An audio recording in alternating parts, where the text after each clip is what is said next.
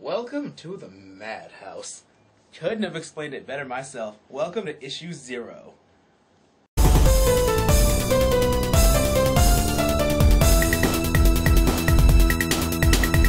New set of issue zero. And by new set, I just mean we just put up a bunch load of posters on the wall. Isn't it awesome? It's got a whole bunch of the rubs and everything. Anyway, this is issue zero back with Mr. Dark Phoenix and talking about another Dark Horse masterpiece, Dark Matter, issue number one of four. I'm looking forward to this miniseries. It's going to be really good. But so far, it's an Enterprise. I'm sorry, Dark Matter. Welcome aboard the ship. Just welcome aboard that ship. I don't know what's going on. I wish I could tell you, but I can't. But what I can tell you is that there's a lot of mishaps going around the ship. No one knows anything. We don't know anything. I don't, unfortunately. But other than that, all I can tell you is that there's going to be a lot of issues going around. People are brought together that I would say are like horror movie conditions, but because it's sci-fi, it's all right. Because people are always brought into really weird conditions in sci-fi, so you're, you'll find it weird at first, and then things will make it better, where you'll actually understand why everybody's brought together. But we're gonna move on from that. The action scenes are left up in the air right now for the purpose of development for characters and why they're there and who they are exactly.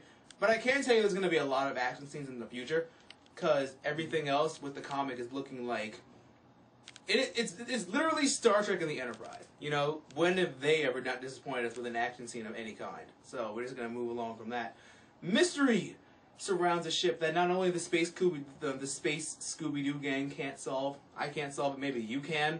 But all I know is there's a lot of mystery behind everything, and I want to see what everyone is doing there. I want to see what they're doing. I want to know why they're there. I want to know why things surround them so much where I don't know who they are yet.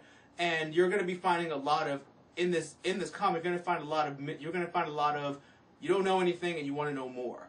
So we're just going to move on from that. Trust issues are going to be really really bad. So just letting you know you shouldn't get used to that character yet because you don't even know if you can trust them or not. And characters are set off in a way where like you can get to know them. Basically, it's like the, all the characters are blank slates, so you can basically put yourself in whatever character you want, which is really good, which really interacts with all the art and everything. So I like how I can put myself into a character who basically doesn't know anything. I can basically make myself that character, and if all the choices they make are just like how I would do it, I would think Dark Horse is watching me. Then again, this horse is the closest thing I have to a dark horse thing. I wonder if I can find a camera on it anywhere.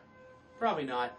But with this, I would definitely say pick up Dark Matter from Dark Horse because it's worth it. If you like sci-fi, if you like everything else, I think it's a really good comic to go with. There's only four issues, so you got to pick up the first one today and make sure you get it.